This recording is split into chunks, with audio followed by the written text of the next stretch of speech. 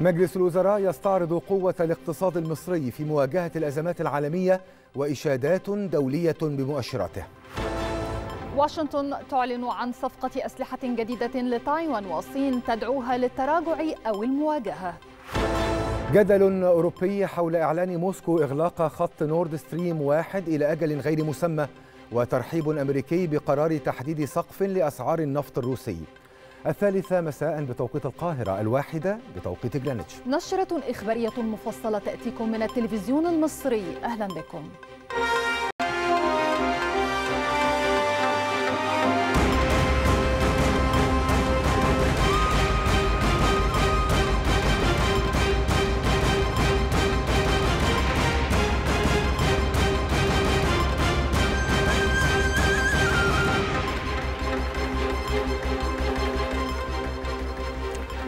أكد المركز الإعلامي لمجلس الوزراء قوة الاقتصاد المصري خلال الثمان سنوات الماضية وما يثبته من قوة ومرونة في مواجهة الأزمات التي تضرب اقتصادات العالم. وأشار المركز في تقرير تضمن مجموعة من العروض المعلوماتية إلى تحقيق الاقتصاد المصري أعلى معدل نمو منذ 14 عاما بواقع 6.6% في عام 2021-2022 مقارنة ب 2.9% عام 2013-2014 فضلا عن ارتفاع الناتج المحلي الإجمالي بالأسعار الجارية بأكثر من ثلاثة أضعاف واستمرار تحقيق مستويات منخفضة لمعدل البطالة ما انعكس على نظرة المؤسسات الدولية للاقتصاد المصري. سعت مصر على مدار الفترة الماضية لبناء اقتصاد وطني يتمتع بمقومات تنافسية ومرنة تساهم في تعزيز مستويات النمو في مختلف القطاعات وتحسين مناخ الاستثمار، وذلك من خلال حزمة من الإصلاحات الشاملة. الدولة المصرية وفي إطار نهجها الاقتصادي التنموي تبنت خططا تنموية في إطار عمل تشاركي بين مختلف قطاعاتها وشركاء التنمية داخليا وخارجيا. وهو الأمر الذي شكل حجر الزاوية في القدرة على الصمود في مواجهة الأزمات والتحديات العالمية الراهنة التي أضرت بمختلف اقتصادات العالم. فخلال السنوات الثمان الماضية أثبت الاقتصاد المصري قوة ومرونة في مواجهة الأزمات وهو ما يؤكده المركز الإعلامي لمجلس الوزراء الذي أشار إلى تحقيق الاقتصاد المصري أعلى معدل نمو منذ 14 عاما على الرغم من تداعيات الأزمة الروسية الأوكرانية حيث يفوق معدل نمو الاقتصادي معدل النمو العالمي المتوقع أن يبلغ 3.2% عام 2022 ليحقق 6.6% في عام 2021 و 2022 مقارنة ب 2.9% عام 2013 2014 يأتي هذا فيما ازداد الناتج المحلي الإجمالي بالأسعار الجارية بأكثر من ثلاثة أضعاف. كما تواصل مصر تحقيق مستويات منخفضة لمعدل البطالة والوصول لأقل معدل خلال أكثر من ثلاثين عاما مسجلا 7.2% في الربع الثاني عام 2022 هذا إلى جانب احتواء معدل التضخم ضمن مستهدفات البنك المركزي المصري وتعظيم الإيرادات والسيطرة على المصروفات بما ساهم في خفض مستويات العجز الكلي والدين الحكومي. المساعي الحثيثة التي تبذلها الدولة لاحتواء مختلف التداعيات السلبية اقتصاديا واجتماعيا انعكست على نظرة المؤسسات الدولية للاقتصاد المصري وإدارته للمخاطر المترتبة على المتغيرات الدولية خاصة على الصعيد الاقتصادي حيث أشادت مؤسسات ستاندرد اند بورز وموديز وفيتش والبنك الدولي وصندوق النقد الدولي وجي بي مورغان وبنك التنمية الإفريقي بتجاوز الاقتصاد المصري فترات صعبة منذ عام 2013 وتحقيق معدلات إيجابية خلال السنوات الأخيرة. ولمزيد من المتابعة والتحليل ينضم إلينا هاتفيا الدكتور عمرو صالح أستاذ الاقتصاد السياسي ومستشار البنك الدولي السابق. دكتور عمرو بعد التحية كيف قرأت استعراض مجلس الوزراء لهذا التقرير الذي يعكس قوة ومرونة الاقتصاد المصري في مواجهة الأزمات العالمية؟ الاقتصاد المصري يحقق 14% معدل نمو يعني أكبر معدل نمو منذ 14 عاما أعلى معدل نمو حتى الآن. كيف تقرأ ذلك؟ صحيح هي مؤشرات النمو مميزه جدا وجيدة ويمكن متميزة على المستوى العالمي لكن خليني قبل ما اتكلم لك على مؤشرات النمو ان إحنا نتكلم وده مهم على النهج وعلى المدرسة وعلى الرؤية الاقتصادية، إحنا الحقيقة المدرسة الاقتصادية في الفترة الأخيرة أو النهج الاقتصادي يمكن توجيهات السيد الرئيس عبد الفتاح السيسي تفتكر في 2015 لما ابتدينا برنامج إصلاح اقتصادي صعب جدا، المؤسسات الدولية نرجع بالذاكرة لورا لا البنك الدولي ولا صندوق النادي الدولي كان متوقع إن مصر تنجح في الإصلاحات الهيكلية. لكن السيد الرئيس أصر على إن الإصلاحات دي تتم برنامج الإصلاح الاقتصادي يتم وبشقين شق اجتماعي وشق اقتصادي وده اللي الصندوق ما كانش متوقع إن إحنا نمشي فيه. إن إحنا نمشي على الجناحين الجناح الاقتصادي والجناح الاجتماعي. والسيد الرئيس أصر على إن يكون في جانب اجتماعي علشان يواجه هذه الأزمات. إحنا نوعنا في مصادر النمو الاقتصادي أخذنا في اعتبار إن إحنا عندنا إدارة مخاطر وازمات من ساعة ما بدينا الإصلاح الاقتصادي سياساتنا الاقتصادية كانت إجراءات وقائية كان عندنا إجراءات استباقية بشكل كبير وحطينا آليات لتنفيذ السياسات لم تكن فقط سياسات أو إجراءات لكن كانت هناك آليات واضحة تشاركية مع الجهاز المصرفي ومع المصدرين ومع كافة الجهات الاقتصادية في الدولة علشان نقدر إن إحنا نوصل لمعدلات النمو. ومش بس كده انت طبعا عارفين إن إحنا كنا من ال 18 دولة على مستوى العالم.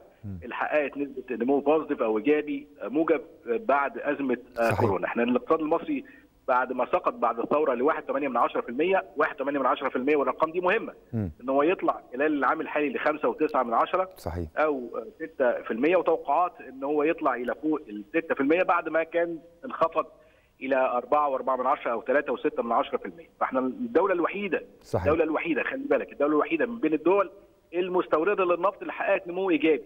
صحيح. الدولة الوحيدة. ده, ده حتى دكتور عمرو في ظل يعني أزمات كما ذكرت يعني أزمة كورونا ثم الأزمة الروسية الأوكرانية. كيف يعكس ذلك يعني نظرة المؤسسات الدولية الاقتصادية للاقتصاد المصري؟ نجد إشادات متتالية من يعني مؤسسات مالية واقتصادية معروفة عالميا تشيد بالاقتصاد المصري. انعكاس ذلك على رؤية المستثمرين للسوق المصرية الفترة المقبلة. شوف التقارير بتاع ستاندرد اند بور وفيتش وأنا وأنا بتكلم من من التقرير. يعني أنا هقرا كلام التقرير ليس كلام عمرو صالح ولا كلام حكومي ولا مؤشرات حكومية. لكن التقرير الدولي بيقول لك ان مصر كانت من ضمن الاقتصاديات الأكبر والأسرع في عملية النمو في المنطقة. وده كلام مؤسسات دولية. ولما المؤسسات الدولية زي فيتش على سبيل المثال الكلام ده في إبريل اللي فات منذ عدد من الأشهر لما تثبت التصنيف الائتماني المصري عند B plus مع نظرة مستقبلية مستقره ده المرة الرابعة على التوالي خلال أزمة كورونا بعد أزمة كورونا. وده طبعا شهادة ثقة في الاقتصاد المصري رغم أزمتين عصفوا مش بدول. أنا بتكلم على مجموعات اقتصادية كبرى صناعية زي أوروبا شايفين ما يحدث في أوروبا شايفين ما يحدث في الولايات المتحدة شايفين ما يحدث في دول نامية زي باكستان أو بنجلاديش. لكن إحنا يبقى عندنا قدرة على مواجهة التحديات الاقتصادية. ونقدر إن إحنا نحافظ على وده نقطة مهمة جدا على الثبات الإنتاجي والقدرة الإنتاجية وزيادة الصادرات رغم رغم الاضطراب العالمي في سلاسل التوريد والإمداد وارتفاع معدلات التضخم وتكاليف الشحن والنقل على مستوى العالم. صحيح. ذات الأسعار العالمية في السلع الاستراتيجية والنقل والنفط.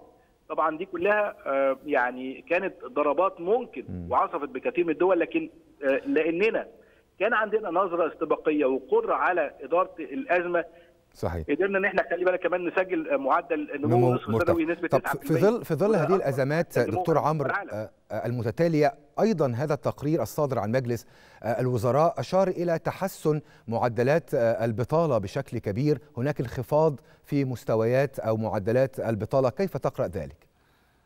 أيوه ما هو أنت لما يكون عندك معدلات نمو إيجابية ومعدلات نمو عالية مش بنتكلم على 1% 2% لكن لما نتكلم على 5% و6% يبقى انت النهارده بتعمل مشروعات وبالمناسبة المشروعات القومية اللي تمت دي مش مشروعات رفاهية ده لم يكن اقتصاد رفاهية. بتوفر فرص عمل. تشغيل.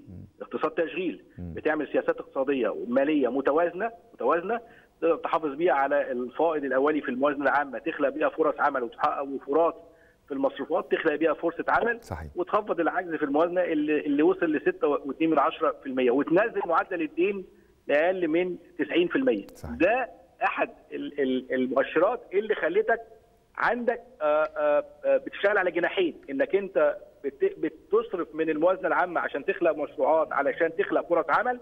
لكن في نفس الوقت قادر إن أنت تتحكم في عجز الموازنة. وده نقطة يعني مهمة وحساسة جدا.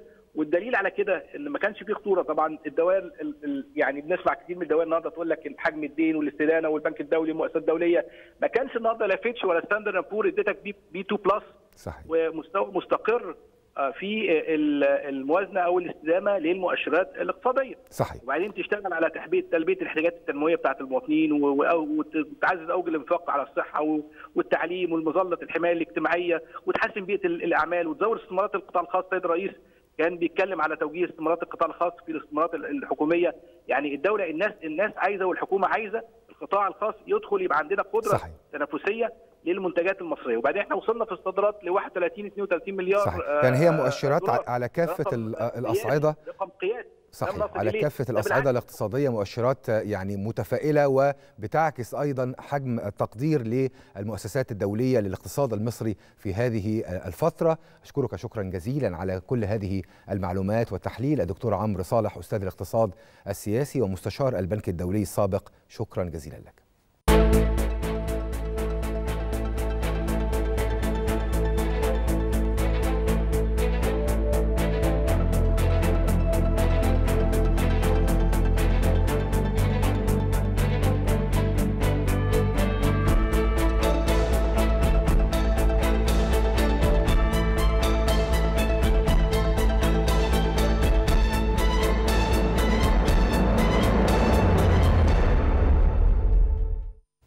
اجتمع الرئيس عبد الفتاح السيسي مع الفريق أسامة ربيع رئيس هيئة قناة السويس. وصرح المتحدث باسم رئاسة الجمهورية بأن الاجتماع تناول متابعة مشروعات ونشاط هيئة قناة السويس حيث اطلع الرئيس على معدلات حركة الملاحة بقناة السويس خلال العام 2021-2022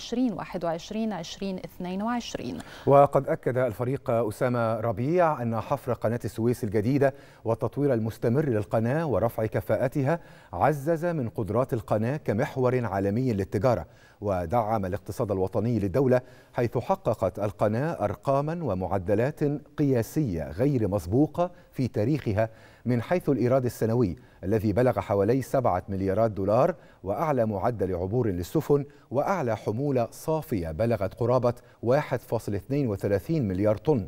فضلا عن النجاح في استقبال الجيل الجديد من سفن الحاويات العملاقة ذات الطاقة الاستيعابية والحمولة الضخمة. كما عرض رئيس هيئة قناة السويس محاور تطوير القطاع الجنوبي للمجرى الملاحي للقناة وذلك في إطار الجهود المنتظمة في رفع كفاءة البنية التحتية لقناة السويس بهدف زيادة وتحسين حركة الملاحة والتجارة الدولية العابرة لها.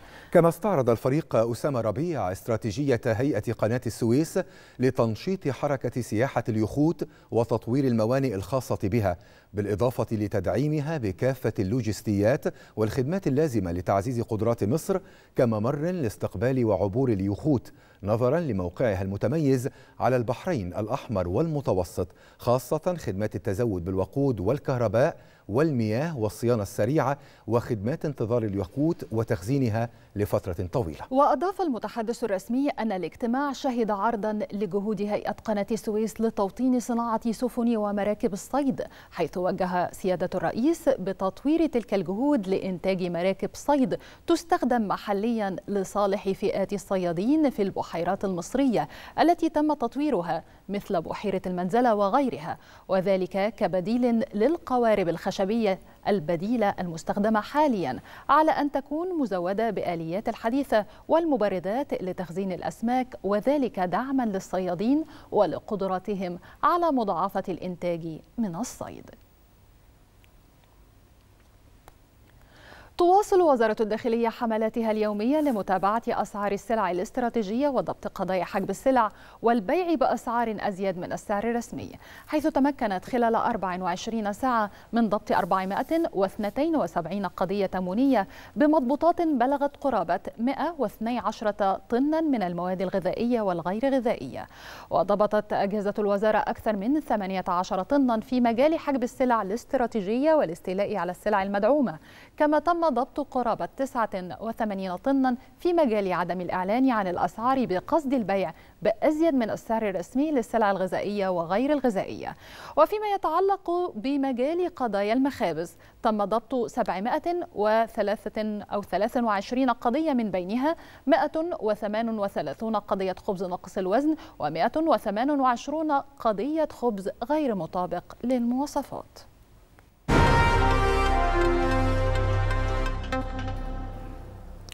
أعربت مصر عن بالغ إدانتها للتفجير الذي استهدف مسجدا في مدينة هيرات غرب أفغانستان والذي أدى إلى سقوط عشرات الضحايا الأبرياء ما بين قتلى وجرحى. وفي بيان لوزارة الخارجية تقدمت مصر بخالص التعازي لكافة ذوي الضحايا والتمنيات بشفاء العاجل للمصابين مجددة التأكيد على استنكارها ورفضها لكافة أشكال العنف والتطرف والإرهاب. يجري المبعوث الرئاسي الأمريكي الخاص لشؤون المناخ جون كاري زيارة لمصر في السابع من سبتمبر الجاري. وأوضحت وزارة الخارجية الأمريكية أن المبعوث الرئاسي الخاص للمناخ سيتوجه إلى القاهرة لمواصلة المناقشات الجارية حول تسريع التعاون المناخي العالمي قبل المؤتمر السابع والعشرين للأطراف في اتفاقية الأمم المتحدة الإطارية بشأن تغير المناخ كوب 27 في شرم الشيخ. يستضيف مجلس النواب أعمال المؤتمر السنوي التاسع لجمعية الأمناء العامين للبرلمانات العربية والذي يعقد خلال الفترة من الرابع وحتى الخامس من سبتمبر الجاري بمقر مجلس النواب. ومن المقرر أن يشهد المؤتمر مناقشات مكثفة بين الأمناء العامين للبرلمانات العربية لتبادل الرؤى والخبرات حول السبل المثلى لدعم البرلمانات من أجل أداء مهامها التشريعية. كما سيتم عقد ورشة عمل خلال المؤتمر تتناول موضوع اختصاصات الأمين العام في الأمانات العامة للبرلمانات العربية. هذا وقد أكد البرلمان العربي ضرورة العمل على رفع الوعي الصحي لدى المواطنين في الدول العربية خاصة بعد موجات جائحة كورونا التي اجتاحت كافة الدول فضلا عن ضرورة الاهتمام بالإرشادات الصحية والسلوكية وذلك لخلق جيل واع وقادر على الحفاظ على صحته. جاء ذلك في بيان أصدره البرلمان العربي بمناسبة الاحتفال بيوم الصحة العربي الذي يوافق الرابع من سبتمبر من كل عام. وفي هذا الإطار أشاد البرلمان العربي بالإجراءات الاحترازية التي اتخذتها البلدان العربية ووزارات الصحة لمنع تفشي وباء كورونا والعمل على توفير اللقاحات اللازمة لمواطنيها مشددا على أهمية دعم وتعزيز التعاون العربي في المجال الصحي ومكافحة الأوبئة خاصة في الدول النامية. رحب المجلس الرئاسي بتعيين الدبلوماسي السنغالي عبد الله باتيلي مبعوثا أمميا جديدا إلى ليبيا خلفا لسلوفاكي يانكوبيش. وفي بيان له أشاد المجلس الرئاسي بالخبرة التي يتمتع بها الدبلوماسي السنغالي واطلاعه على الملف الليبي مثنيا على الجهود التي بذلتها أو الذي بذلها أثناء قيامه بتقييم ودراسة هيكلة بعثة الأمم المتحدة إلى ليبيا. وأكد المجلس على دور الأمين العام للأمم المتحدة في دعم مساعي الليبيين للوصول إلى حلول سلمية من خلال بعثتها إلى ليبيا. وذلك للذهاب إلى انتخابات برلمانية ورئاسية في أقرب وقت معربا عن أمله في أن يسهم باتيلي بخبرته الواسعة في مساعدة الليبيين في الانتقال إلى الدولة الديمقراطية المدنية الحديثة التي يتطلع إليها الشعب الليبي.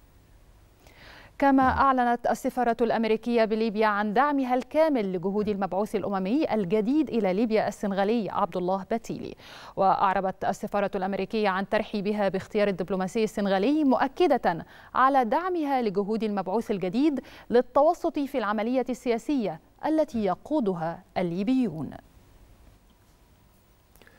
بدأت المهلة الدستورية لانتخاب رئيس جديد للبنان خلفا للرئيس الحالي ميشيل عون والذي تنتهي ولايته في الحادي والثلاثين من شهر أكتوبر المقبل. ويأتي ذلك في ظل عدم اتفاق بين القوى السياسية في لبنان حول تقديم مرشح توافقي لإنجاز الاستحقاق الرئاسي في موعده. بالتزامن مع خلافات أخرى تعرقل تشكيل الحكومة الجديدة المكلف بتأليفها رئيس حكومة تصريف الأعمال نجيب ميقاتي منذ الثالث والعشرين من شهر يونيو الماضي. أعلنت وزارة الداخلية العراقية مقتل إرهابي في محافظة كركوك على أيدي القوات الأمنية. وأوضحت الداخلية العراقية في بيان لها أن العملية تمت في منطقة غايدة بقضاء دقوق بالمحافظة وذلك بالاشتراك مع عناصر من الاستخبارات التابعة للوزارة مشيرة إلى مقتل الإرهابي أثناء محاولته إطلاق النار باتجاه العناصر الأمنية. أفادت مصادر ميدانية يمنية بشن قوات الحوثي هجوما واسعا بالأسلحة الثقيلة على مواقع للجيش اليمن على مواقع الجيش اليمني في محافظة تعز جنوب غربي اليمن. وأضافت المصادر أن قوات الحوثي استهدفت بقذائف المدفعية الثقيلة كلا من وادي حذران والصياح ومحيط جبل الهان غربي محافظة تعز لافتة إلى مواجهات أخرى في مناطق الربيع والسندين.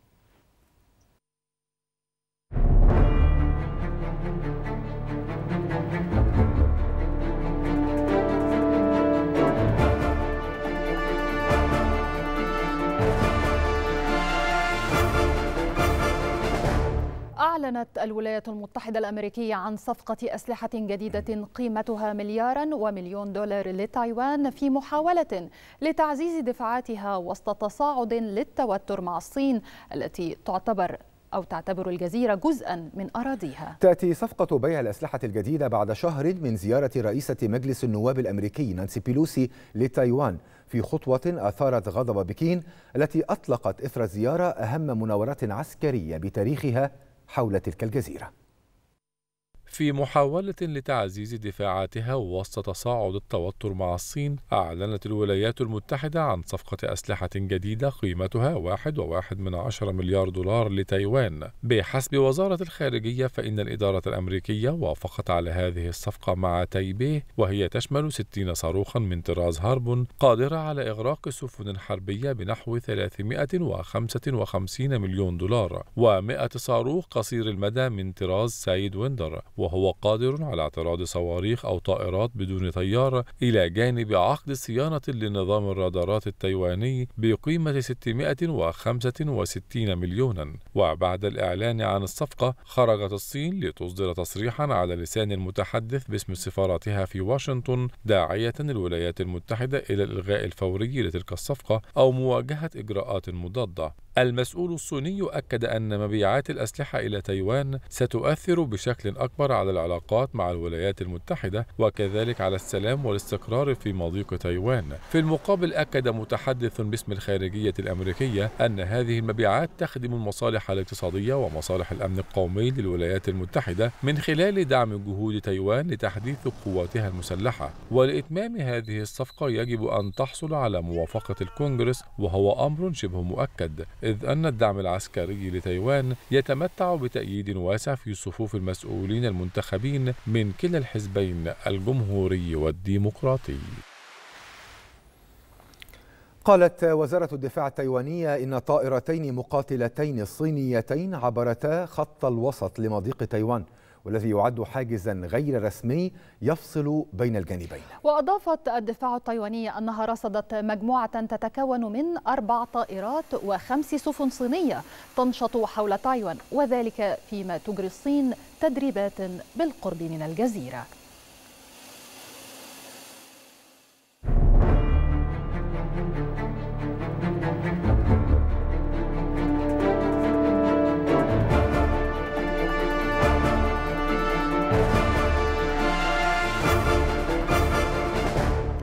أكد مفوض الاقتصاد في الاتحاد الأوروبي باولو جنتيلوني أن الاتحاد الأوروبي يتوقع من روسيا أن تحترم عقود الطاقة التي أبرمتها.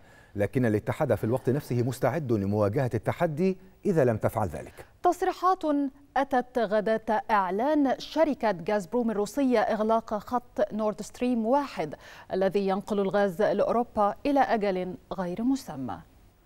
خلق الأزمات مصطلح جديد تشهده الأزمة الأوكرانية بأطرافها المتعددة فكما وجدت أوروبا في العقوبات الاقتصادية على موسكو السبيل الأمثل لمواجهة عملياتها العسكرية على أوكرانيا. وجدت موسكو أن سياسة المنع هي السبيل الأمثل لإجبار الأطراف الأوروبية على التراجع خاصة في ملف تصدير الغاز الذي يعد العنصر الأهم للاقتصاد الأوروبي خاصة مع اقتراب فصل الشتاء. آخر حلقات التصعيد بين المعسكر الروسي والأوروبي جاء بإعلان شركة غاز بروم الروسية إغلاق خط نورد ستريم 1 الذي ينقل الغاز لأوروبا إلى أجل غير مسمى مشيرة إلى أن التوقف جاء بسبب وجود أعطال في التوربين الرئيسي على امتداد خط الأنابيب الذي ينقل الغاز الطبيعي من غرب روسيا إلى ألمانيا. خطوات خلق الأزمات بدأتها أوروبا واستمرت موسكو في التعامل بها حيث أعلنت وقف إمدادات الغاز إلى القارة العجوز بعدما أعلن الاتحاد الأوروبي مساعيه لتحديد سقف لسعر الغاز الروسي في محاولة منه لمنع الرغبة الروسية في تحقيق مكاسب اقتصادية تكون تعويضا للخسائر التي تكبدها الاقتصاد الروسي جراء العقوبات الأوروبية. ورغم إعلان عدد كبير من الدول الأوروبية تحقيق احتياطيات كبيرة من الغاز وصلت في المتوسط إلى نحو 80% إلا أن دول أوروبا أصبحت تبحث مع مورد جديد للغاز والتوسع في استخدام المفاعلات النووية من أجل توليد الطاقة حيث أعلنت وزارة الطاقة الفرنسية أن عملاق الكهرباء الفرنسي EDF سيستأنف العمل في جميع مفاعلاته النووية بحلول الشتاء لمساعدة الدولة خلال أزمة الطاقة واسعة النطاق والتي تفاقمت جراء الأزمة الأوكرانية. وتحمل روسيا العقوبات الغربية المسؤولية وراء انقطاع إمدادات الغاز فيما وجهت الدول الأوروبية أصابع الاتهام مرة أخرى إلى موسكو متهمة إياها باستغلال أزمة الطاقة كسلاح في حرب العقوبات الطاحنة بين الجانبين على خلفية الأزمة الأوكرانية مستبعدة أن تعيد موسكو ضخ الغاز عبر نور ستريم 1 مرة أخرى لتحقيق المزيد من الضغط على دول القارة العجوز.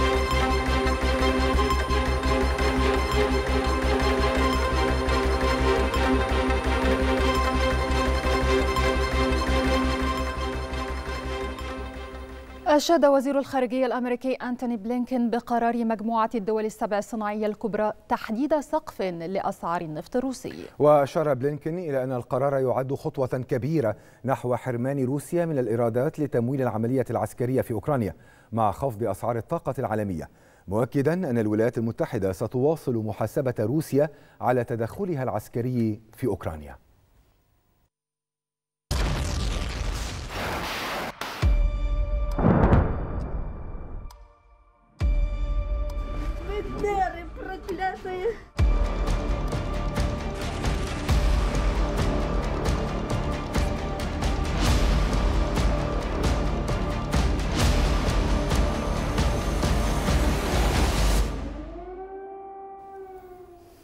قال المدير العام للوكالة الدولية للطاقة الذرية رافائيل جروسي إنه سيقدم تقريرا إلى مجلس الأمن الدولي بشأن زيارة بعثة الوكالة إلى محطة زابوروجيا الطاقة النووية الثلاثاء المقبل.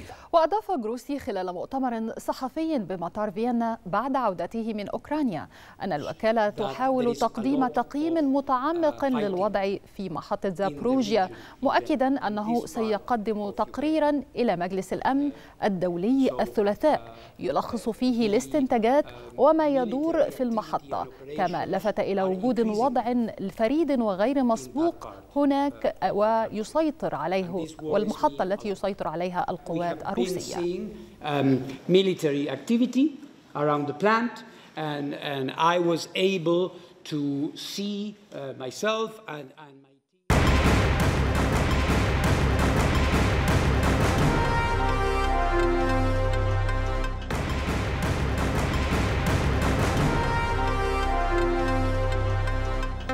أهلا بكم من جديد إلى نشرة الثالثة أعلنت وزارة الدفاع الروسية إسقاط مقاتلتين أوكرانيتين من طراز سخوي 25 في منطقة خرسون يأتي ذلك فيما اتهمت روسيا أوكرانيا بتنفيذ محاولات إنزال على محطة زابوريجيا النووية رغم وجود بعثة الوكالة الدولية للطاقة الذرية.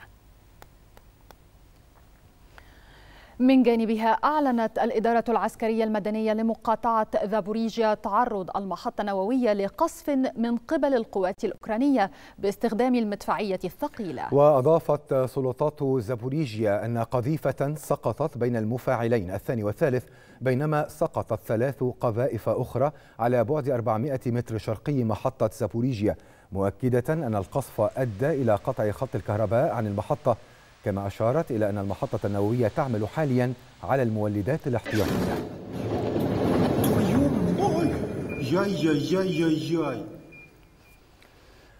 أعلنت السلطات في منطقة دونيتسك مقتل خمسة مدنيين جراء قصف أوكراني استهدف عدة نقاط بالمنطقة. وأوضحت السلطات أن القوات الأوكرانية تواصل استهداف مدن وبلدات في المنطقة مشيرة إلى مقتل نحو 880 مدنيا وإصابة أكثر من 2900 آخرين جراء القصف الأوكراني منذ بداية العام الجاري.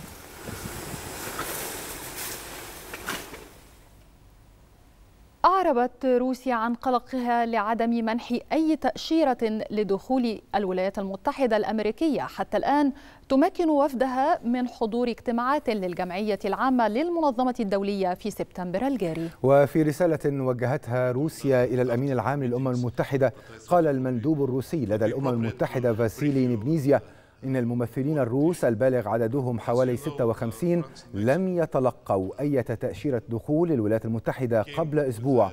من الاجتماعات رفيعة المستوى للجمعية العامة مؤكدا أن الأمر نفسه ينطبق على الصحفيين.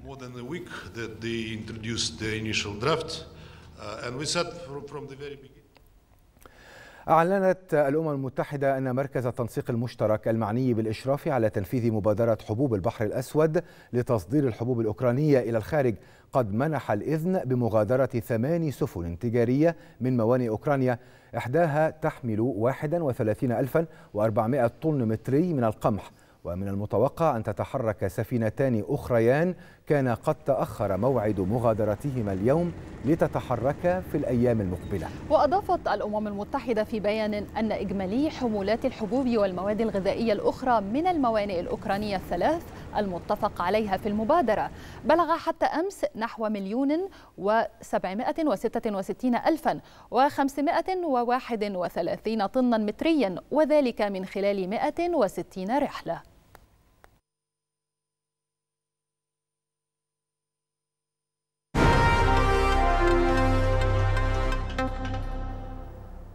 أعلنت إدارة الرئيس الأمريكي جو بايدن الإبقاء في هذه المرحلة على الرسوم الجمركية التي فرضتها واشنطن على الصين في عهد الرئيس السابق دونالد ترامب. في الوقت نفسه تدرس الإدارة الأمريكية خطوات تقييد استثمارات الولايات المتحدة بشركات التكنولوجيا الصينية في ظل توتر متزايد بين واشنطن وبكين.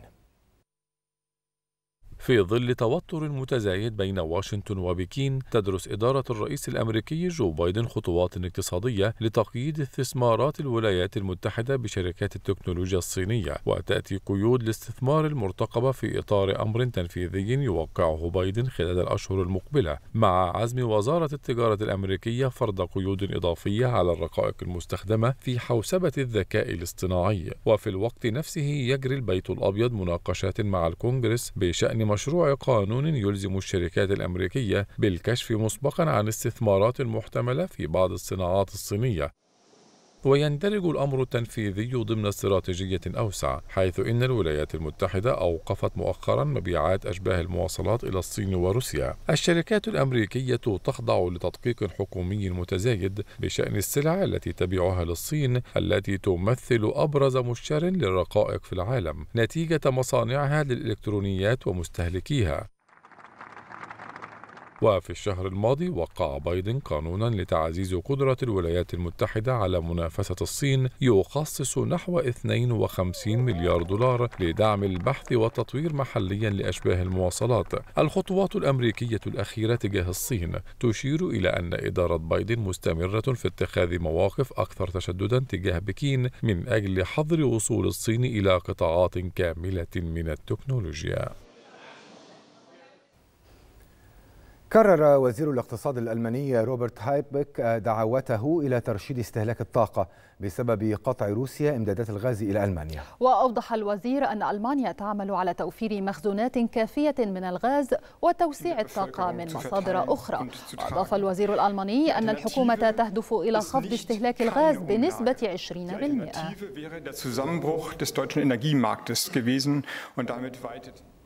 حذرت أكبر شركة لصناعة الصلب في اليابان نيبون ستيل عملاق التصنيع في البلاد من تطبيق زيادات سعرية إضافية هذا العام. وقال نائب الرئيس التنفيذي لنيبون ستيل تاكاهيرو موري قال إن الشركة تطبق زيادات على أسعارها التعاقدية من خلال التفاوض مع العملاء المحليين في النصف الثاني من العام المالي حتى نهاية شهر مارس. مشيرا إلى أن الشركة ستمرر الزيادة في التكاليف إلى العملاء بما في ذلك زيادة أسعار الحديد الخام وفحم الكوك التي تفاقمت بسبب الانخفاض التاريخي في قيمة الين اليابانية.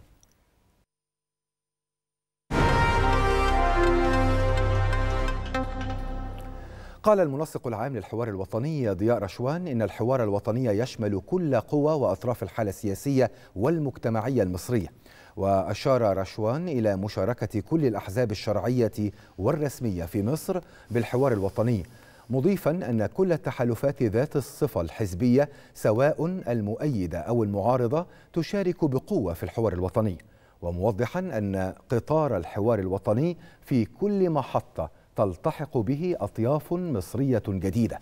لافتا إلى أن الحوار الوطني ليس مجرد منصة لإطلاق التصريحات وتبادل المديح أو النقد بل هو حوار موضوعي وجاد.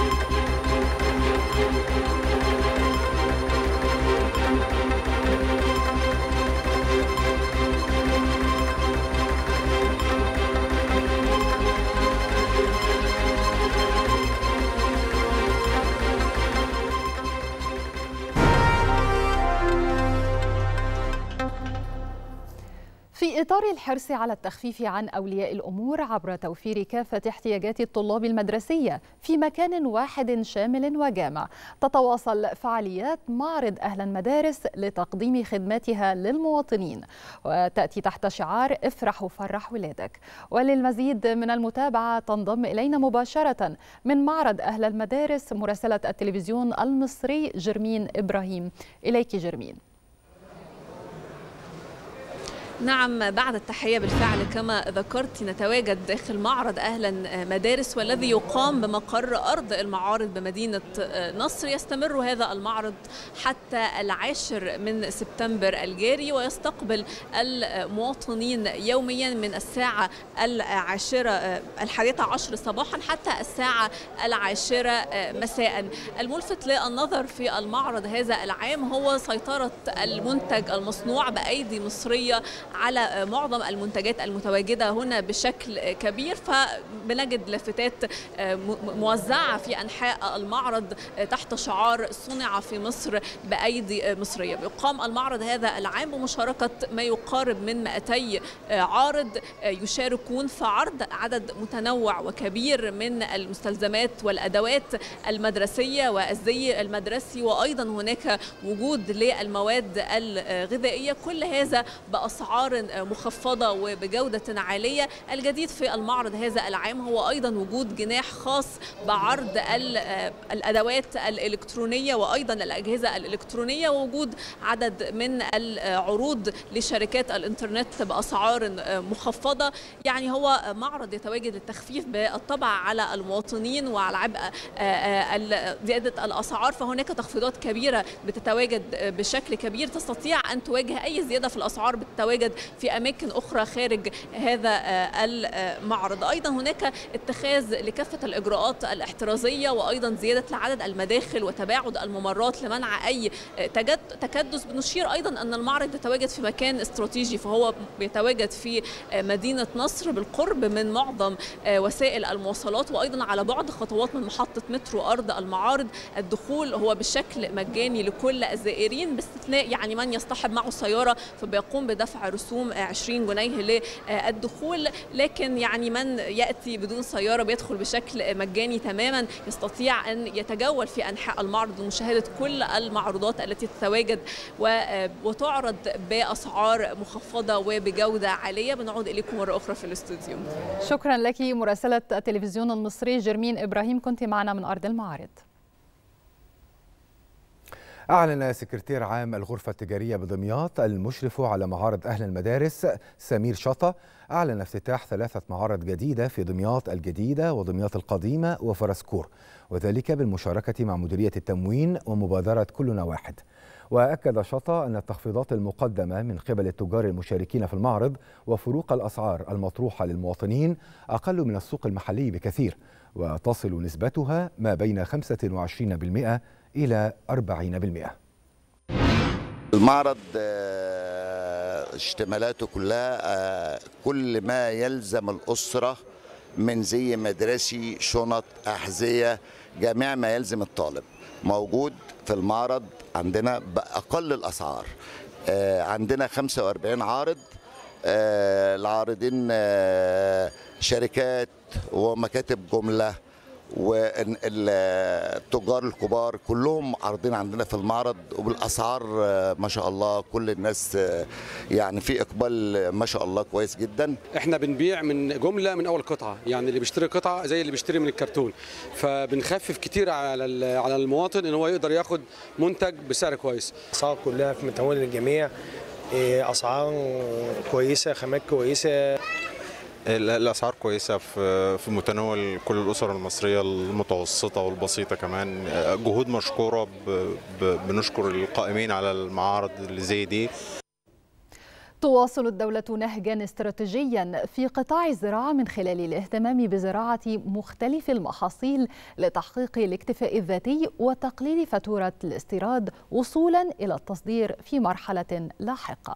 ومن بين المحاصيل الهامة التي تسعى الدولة للاهتمام بها محصول القطن الذي يشهد رواجا في زراعته بمحافظة القليوبية. انطلاقا من أهمية القطن كواحد من المحاصيل الاستراتيجية الهامة للاقتصاد القومي. شهدت محافظة القليوبية زيادة المساحات المنزرعة بالقطن في هذا العام عن السنوات الماضية. كما شهدت المحافظة لأول مرة استحداث تجربة زراعة بالشتلات عقب زراعة محصول القمح نظرا للتغيرات المناخية ولتوفير الأرض في هذه الفترة لزراعة محصول آخر. زراعة القطن بالشتلات أولا أنا بستفاد منه استفادة عالية جدا من جميع النواحي. أول حاجة إن هو إن أنا بزرع محصولين استراتيجي في السنة إن أنا بزرعه بعد القمح في شهر خمسة. وهو بيبقى مزروع أنا بزرعه بالبذرة باخد هو 5 كيلو بذرة بس بيوفر بذرة بدل ما 30 كيلو أنا بزرعهم.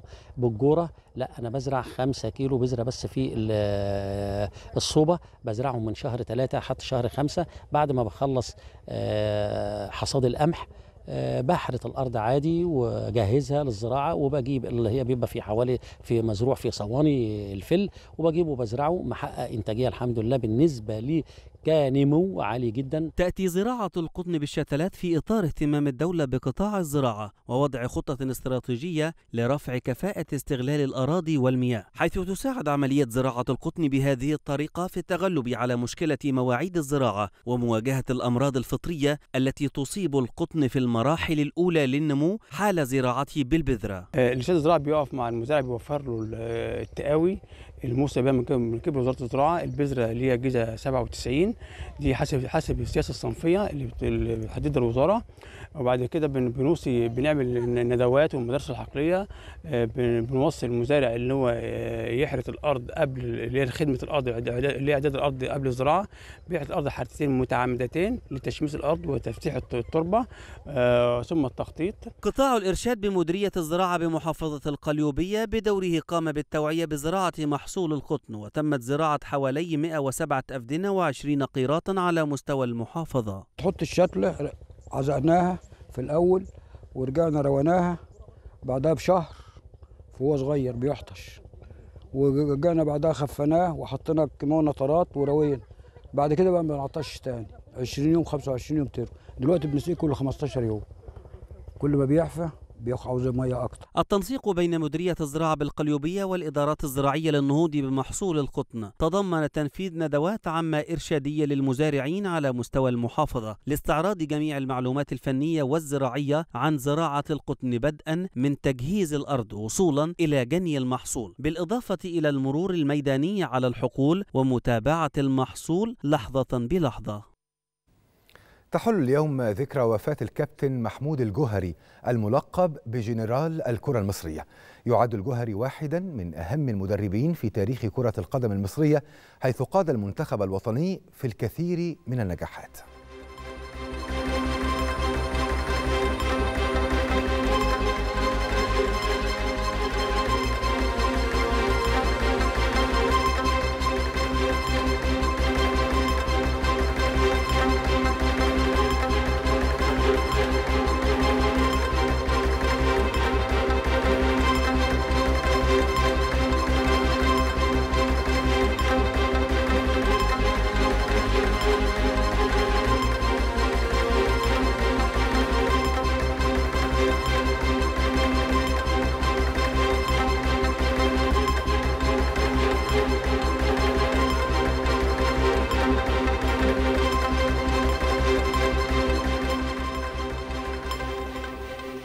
رحم الله جنرال الكرة المصرية الكابتن محمود الجوهري. إلى هنا تنتهي نشرة الثالثة بقي أن نذكر حضراتكم بأبرز عناوينها. مجلس الوزراء يستعرض قوة الاقتصاد المصري في مواجهة الأزمات العالمية وإشادات دولية بمؤشراته. واشنطن تعلن عن صفقة أسلحة جديدة لتايوان والصين تدعوها للتراجع أو المواجهة. جدل أوروبي حول إعلان موسكو إغلاق خط نورد ستريم واحد إلى أجل غير مسمى وترحيب أمريكي بقرار تحديد سقف لأسعار النفط الروسي.